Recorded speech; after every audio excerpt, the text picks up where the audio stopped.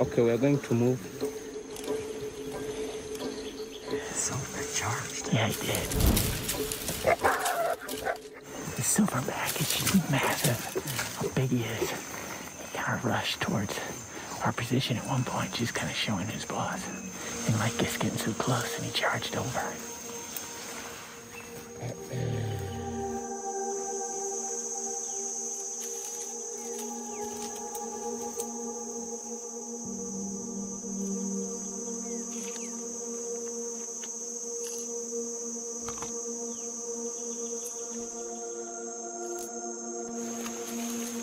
after